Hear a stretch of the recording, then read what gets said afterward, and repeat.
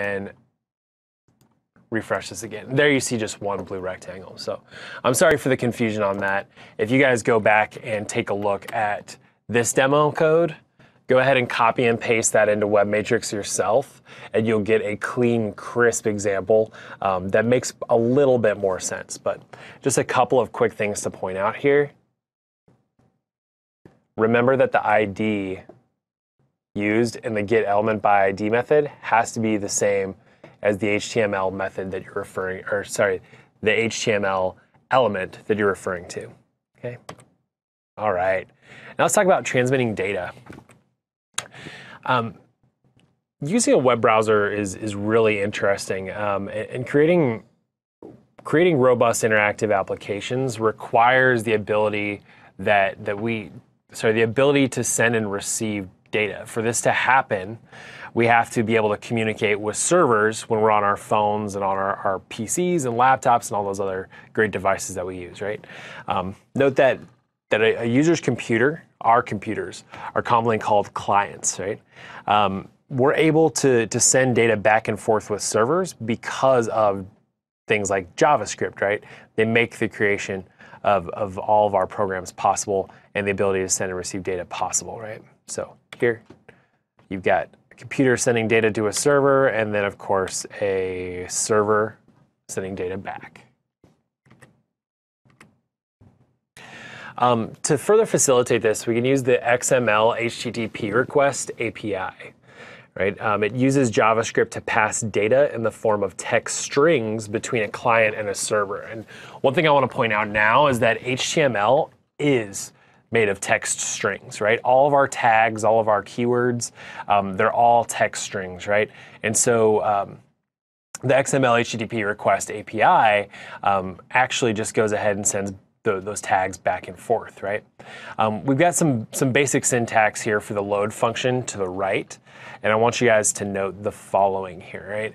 So we, we go ahead and, and we create a new XML HTTP request object stored in XHR, right, which is short for XML HTTP request. And then the, the open method here is going to specify the HTTP method for contacting the server, right? So we use get. It's also going to provide the web address as well for that server. Okay? Then when when we, we call the callback function here, um, we're going to get a response from the server. So we get that response, and then finally, um, we're going to go ahead and and use the send method in order to send data to the server, right? So um, that's it in action. When we do receive data back from a server, we have to, to parse which components are going to be used. And so we send all kinds of complex information back and forth. Um, and, and parsing is the ability to analyze that complex information and break it down into its smaller parts. So um, with JavaScript, you have a number of options for parsing data um, so that we can get usernames, um, access photos associated with those usernames, um, also get, get phone numbers, addresses, all that good stuff that we use the web for, right? Get directions, cool stuff like that. With JavaScript, we, we typically are going to find ourselves using JavaScript object notation um, to, to do some of our parsing. And so um, it's called JSON, right? Um, it's a subset of, of JavaScript that, that is used to exchange JavaScript objects with a server. And there are two APIs within JSON, right? You've got the .parse and .stringify APIs. Um, when data is received from a server, the .parse API is used to just go ahead and, and you know, do the parsing and actually read through the data and break it down into its smaller component parts. And then when the data is sent by a client, the Stringify API is used to turn that data into strings so that it can be sent. Next, we'll talk about uh, loading and saving files. So um, how do we handle data locally, right? Uh, JavaScript is wonderful because it actually helps us validate, uh, sorry, let me take a step back. JavaScript allows us to load and save files from our local computer, like I just mentioned. Um, sometimes you're going to ask a user to upload a specific type of file. Like maybe I want to go ahead and upload a picture of, there's my dog again, $500 an hour dog model, Stella. Um, but, but what might happen is that a user might go ahead and try to upload a .doc file, right? We don't want that to happen, and so we can use JavaScript to tell our users that, hey, you're uploading the wrong file. You definitely should upload a JPEG. Um, do that instead, right? All right. Um, another really important aspect of JavaScript that you need to understand is, is app cache for offline files if we want users to be able to access our, our web pages or our web apps when they're offline, uh, we're probably going to want to implement App Cache. Okay, App Cache allows us to, to store data locally when users are offline. And it, it's going to store resources like you know the HTML file, CSS files, and JavaScript locally on a user's machines. And so that's what allows them uh, the ability that's what allows the ability to, to access those, those files um, when they're offline. Sorry, guys, I'm getting a little tired today, if you can't tell. Um, and, and finally, the, the cache manifest file within the, the app cache uh, API, the application cache API, is going to dictate which type of information is stored offline. Um, that cache manifest file is really just, um, it's a file that includes a, a, list of all of the different files that are supposed to be stored when a user goes offline. So um, everything that's in that manifest is going to go ahead and, and just stay right on your computer after you lose internet connectivity. All right, lastly, we already talked about this with validating form input. And uh, you know, a lot of this can already be done on the client side with CSS and HTML. Um, but JavaScript can can also be used to validate user input.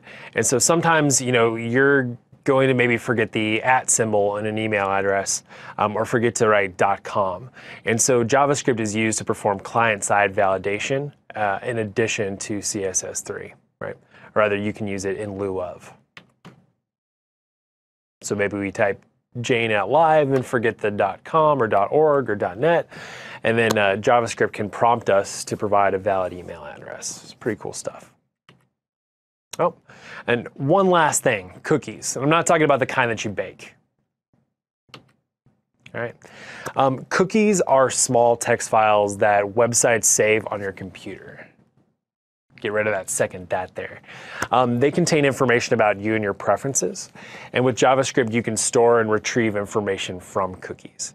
Um, you know, cookies, as we mentioned before in, uh, in module one, they, they can can cause some problems for people um, from a security standpoint. Um, they also can cause some slowdown in terms of, of rendering and viewing content because cookies are actually stored on a server. And so every time that, that you, you request a website, um, or access to a page, that cookie may be sent back from the server.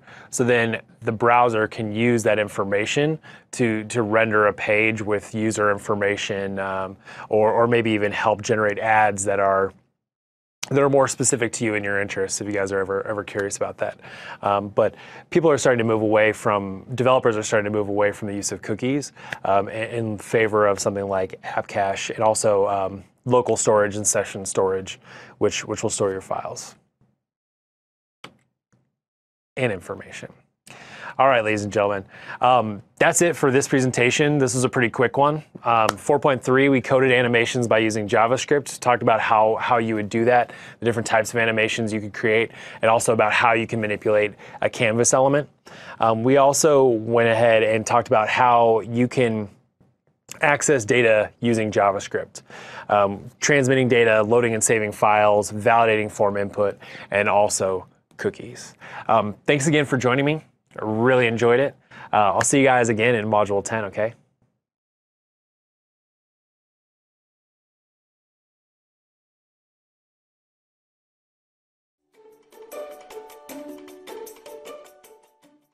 Hi, I'm Cullen, and welcome back to HTML5 Application Development Fundamentals.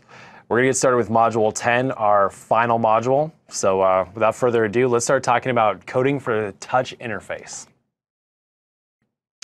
Um, today we're going to talk about how to respond to the touch interface. Uh, just touch interfaces in general will be detailed. Uh, we're also going to touch on Objective 4.6, coding additional HTML5 APIs. Uh, we've got four that we're going to talk about geolocation, web workers, WebSockets, and the file API. And we're also going to touch on web storage again, um, local storage, and then also session storage. Okay. All right, guys, let's get going. Uh, touch interfaces. So most of you are familiar by now with what a touch interface is, right? They, they're featured on tablets, on smartphones. Um, all that they are are screens that are developed specifically for sensing touch. There are a couple of different types uh, available, right? Um, processors treat touches like mouse gestures, and then they relay all that information to an operating system and then ultimately to an application, right? So when you touch a screen, that gets turned into data, and that data gets transferred and relayed to an application, which then responds to that touch. Um, we'll talk a little bit more about that process here today. All right, so finger moves are called gestures. So if I take this finger and I move it, oh, whoops. My apologies, guys. Let me bring on my marker. If I take this finger and I swipe to the right, that's a gesture, right? But gestures can also include presses, taps, and slides, all sorts of things, okay? Um, how an application responds to a touch or a tap is called a touch event. And we can use JavaScript, including uh, three different methods, touch start, touch end, and touch move, to create these touch events. Here's some common touch gestures. Um, you've got tap, which is uh, essentially the equivalent of a left click with a mouse. Double tap, which is a, a left double click. Press and hold, which is similar to a, a, right click in order to bring up options on the screen. You got uh, selection or drag. It's the same thing as being able to drag a file across the screen with a mouse. Um, and then of course zoom, right? Um, zoom with the mouse, you you hold control and then scroll your mouse wheel forward or backwards. Um, with with touch, we actually are going to pinch an object inwards, or we're going to go ahead and, and spread it outwards. Pretty simple stuff. Here are some common touch gestures, um, just a couple of different visuals, right? We've got tap, which is just a single tap, double tap's a double tap drag, just moving, sliding to the left or the right. Um, pressing and holding is going to replicate that right click, and then zooming like we just talked about on screen. Oops. Um, so when, when you make a gesture, you, you want your application to respond, right? In order to get that to happen, we use the add event listener method to attach an event handler to an HTML element. So if I press a, a button, I'm going to use the add event listener along with a, a touch event uh, to go ahead and, and, start a function that I've, I've coded. And, and, this is the general syntax below here, right? We have our, our touch event. Then we have our, our function. And my writing is atrocious today, so I'll apologize for that. And then finally, we're going to use uh, the keyword false.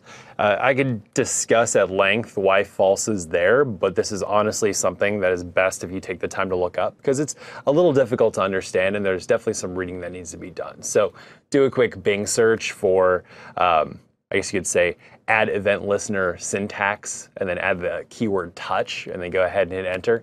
You'll find some really great information on this syntax and the general format to use when adding event listeners, okay? All right, let's keep on going. Um, a gesture event is very similar to a touch event, um, except a gesture event's a little bit different in that it's when